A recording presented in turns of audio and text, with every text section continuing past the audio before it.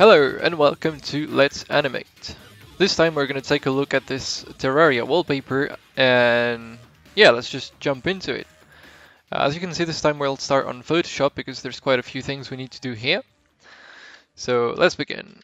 Uh, what I extracted uh, is simple. I just wanted the arm because the effect needs need to be behind it. The wings because I wanted to animate them, and the staff because uh, why not? Like this guy would be moving the arm up and down, and the staff would move as well. So yeah, that's what I extracted, and the way I did it is simple.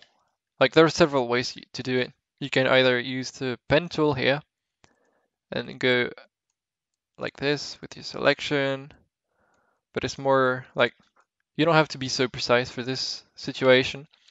So you can just use the lasso tool here. You can press L to get it. And then with the mouse, you go over like this. Really rough selection. Oops. And if you want to add to the selection, you press Shift. And it's going to add another selection. And if you think you've gone too far, you can remove the selection with Alt. You, you press Alt and then, yeah, you can remove it. And that's pretty much it. So I did it with the three assets and now I got the arm, the wings and the staff on different layers. If you have your selection here, you can press this button, the mask, and then it'll remove everything or just show you this what you have selected. And so you do this for the three different assets. And then you end up with something like this. So now there's one issue. So as you can see, if I toggle them back on those three extracted assets, there's a trim, a white border, because the background is uh, being revealed behind. Um, there's a way around it, but we're not gonna do something crazy complicated. So what I chose to do is uh, basically, since we want to move the wings left, right, or something, we don't want the background to be revealed. So the way I did it is simple. I just painted over the the the empty background or the transparent pixels. This is before after and it is fairly simple. We can take a new layer, take a brush, so B. Uh, let's make sure you have a really soft brush. Yeah, you can right click and change the hardness to zero. And then you press Alt, click, and then you get the color that you click on. And that way you just paint like this. And I did this all around with the colors. So it takes a bit of time, but you don't have to be so precise, so it's okay. And then you end up with something like this. And now if you toggle the wings, as you can see, it's not really visible. Like you can see there's a small trim, but it, it's not going to be noticeable on the background, on the wallpaper. And yeah, that's pretty much what I did for the three of them. And now you have your four different assets that you need to export to put on Wallpaper Engine. And so it's pretty simple. You can just right click and then export to export as PNG. Uh, this worked for this works for this one. However, if you want to export these three individually, like I don't recommend uh, using this quick export because then it's only going to give you the wings and nothing else, not the transparent uh, background around it. Like all of this will be gone. Not sure if you can see my cursor. And we don't want that. I'll explain uh, later on the wallpaper engine why it's so important to keep all the blank space around. So simple, you just reveal one asset at a time, file, export, and quick export as PNG. And then it's going to export the whole artboard with the, the empty space as a PNG file. And then you do it for the three and there's the four assets you need. So now let's move on to Wallpaper Engine. Alright, here we are on Wallpaper Engine. So as you can see, I have this base wallpaper with the extractions. So now we need to add them. And I'll show you the reason I uh, told you not to extract only the, the asset and the, the transparent background. So if you reset your camera and then drag it in here, as you can see, it's going to ask you if you if you want it to be cropped. So you just yeah, so say crop transparent area, and then it's going to place it automatically for you at the on the right spot. And if you didn't have this uh, transparent area around, it would have been placed like somewhere in the center, I think. And this is why you have to keep it when you export it. It's really important so that you don't have to find the right spot. And yeah, that's pretty much it. So I have the arm, the staff, and the wings. Okay, let's start with the effects on the left. Uh, the main focus is the nebula here behind the arm. So I added some three different magic effects. It's fairly simple. Uh, gravitation, charge, and focus. It's just right there. And I made them purple and adjusted the size and everything, and then you get this cool effect. Then I just added some discharge, some lightning cloud, and thunderbolt. So it just adds more lightning overall, and occasionally you get this huge thunderbolt here to give the yeah this feeling of power, I guess. So it's really it's really nice. I also have this uh, particle system. I'm gonna cover it at the end if I have time. But we'll move, we'll move on to the rest. So I have the lightning cloud here as well. Then I added some ember and torch for the weapon here to add a bit more effect because it looks bland without, and then some shooting stars at the bottom just to add a bit more and it's really nice to see it occasionally like this one. And that's it for those effects. Now let's see. Um, I made the arm move up and down, left and right, a bit weird. So it's just a shake effect. I'm only going to show you up and down because the other ones is, well, it's pretty much the same. You just have to adjust it. So I use the zero direction, the zero angle here and paint it around. And I didn't even tweak the sliders except the strength. And make sure you keep your, you remember this strength, uh, this speed, sorry. So mine is just one, I didn't change it, so it's easier for me to remember. And that's pretty much the same for the staff and the wings, except the wings have more effects, but you, you can have it, you can tweak it with the shake effect. It's really simple. Now, let's go on to the wallpaper itself. So first thing I added is some heat effects, really simple. It's just the water ripple effect on the weapon. Nothing crazy, I already covered this in the previous ones. Vortex pulse is just a pulse effect on these things. And the shake is exactly the same. So I added some uh, fixed direction shake. And I changed this a bit, doesn't really matter, it just looks better here. And I kept speed at 1 and strength is lowered as well.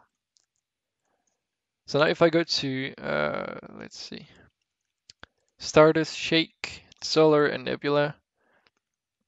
So let's go on Nebula. As you can see, I kept the speed to 1 because that way it will move at the same time as the arm moves, so it doesn't look weird.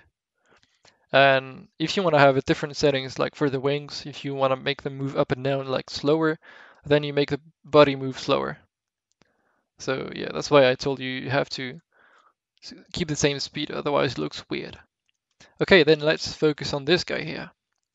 Uh, I wanted to make the veins pulse because I thought it would be a cool idea and it would look creepy. So I just added some pulse effects with a mask like this.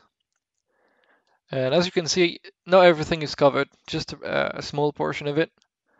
And I, and I added some noise. Uh, I tweaked a few things. And the most thing, the most important thing is that I uh, don't use this pulse speed again. So it's 185 this time. And if I go on the other ones, let's reveal them. Yeah, it's it's a, it's a bit different, but then it's not synchronized, and that way adds a lot. Like with the noise, since it's random and the speed is changed, it, it looks much better. So then you have these pulsing veins, which is really weird. And it looks good from afar, like this. Now, how, how do we make this even creepier? Simple, we make the heart beat, like this. Uh, it looks a bit weird when you really look at it closely, but I, did my best with this effect, so it's just another shake. But this time you use the spread option, you get a really large brush, a soft one, and then you just click once and you get this effect. Now these uh, settings are really important. I lowered the bounce to make it better. Uh, let's put it at one. Like, like as you can see, it doesn't stop and then go back. It's like two, two, two, two.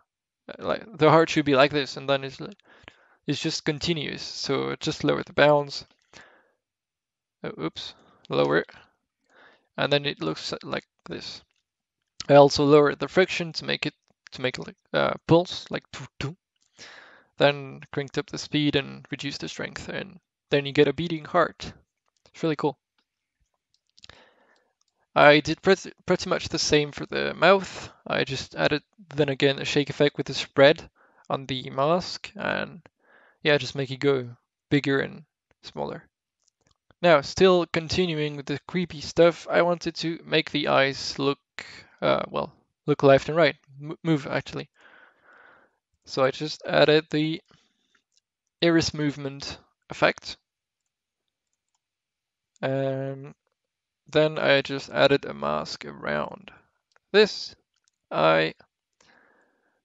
And then you just tweak your, the settings as you want. I added some speed and some noise to make it random. And then it just moves around. It's really cool. And the, the this one is moving too, but it's really far so and small, so it doesn't it's not as noticeable as this one. Then I added some bolts to the eyes here. It's uh, just again a pulse effect, nothing fancy and some god rays as well. Uh, I'm not going to show you, it's very, very simple, you just add the effect and tweak the mask. And then what I needed to do is to make it move up and down as if it was, well, just moving. And then again, it's just a shake effect with a mask. Uh, I also made sure not to go on lightning so that it doesn't move, otherwise it looks strange. And yeah, that's it. Then you lower the strength, the speed, and you get something really slow like this. Alright, then I wanted to add more effects to this part because it looks kind of bland or dull. So I added a pulse and some water wave, water yeah, water wave effect, water waves even, and yeah, just make it move ever so slightly. And then something is still miss missing, as you can see here, the nebula is kind of it's really still. Nothing's nothing's happening. So I added some nitro effect. And now it looks much, much better. So now you can see lightning pulse in pulsing in these areas. And then again, it's just another precise mask that you have to take your time to make. And in the end, it look looks really nice. I did the same for this one and and yeah, it adds a lot to the background. I also make sure to change the color for each. And yeah. That's it for the nitro effect. Then I wanted to make these stars, pulse. It's the exact same thing as the veins, just uh, different masks. Uh, add some noise, change the speed maybe, and then you get these stars pulsing. And finally, I added some water waves here to look clouds because I thought it would it was a bit too dull once again. So I wanted everything to move around. And that's what this effect is for. So this is without the water waves and with the water waves. It just moves ever so slightly. Um, yeah, that's pretty much it for the background, for the wallpaper and we've covered everything I made.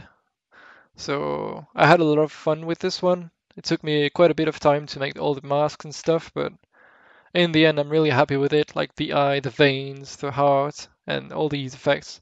It looks really nice. And anybody can do this. Again, which is why I'm making those videos, to make sure that some people get can get inspiration from it and learn quite a few tricks. So that's it. I hope you enjoyed, and I'll see you next time. Bye bye.